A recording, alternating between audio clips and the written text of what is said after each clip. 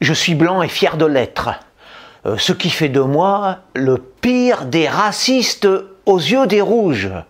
Ma compagne, tout comme moi, est caucasienne. Voici donc euh, deux Français de souche ensemble. N'est-ce pas scandaleux pour ce siècle aseptisé où règne la pensée dictatoriale du métissage universel? Même mes chats sont de race européenne, c'est parfaitement idiot de le signaler, et pourtant, conformément aux critères imbéciles des antiracistes, ça compte.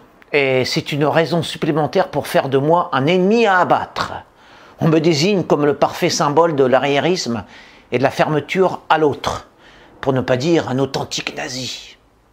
Je suis plein de haine envers les Noirs, pour la simple raison que je ne que je que je merde, pour la simple raison que je veux préserver ma culture, mes gènes, mes traditions.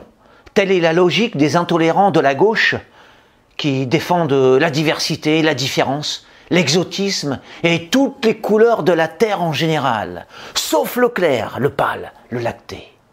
Pour eux, la pureté se marie fort avec la blancheur.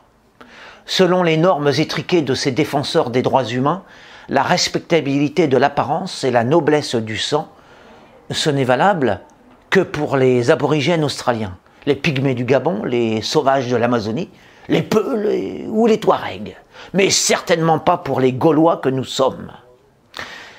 Ma face, euh, pourtant honnête, est abusivement marquée par l'éclat déplacé de la neige. Mes airs font exagérément enfant du terroir. Mes mœurs sont affreusement France profonde.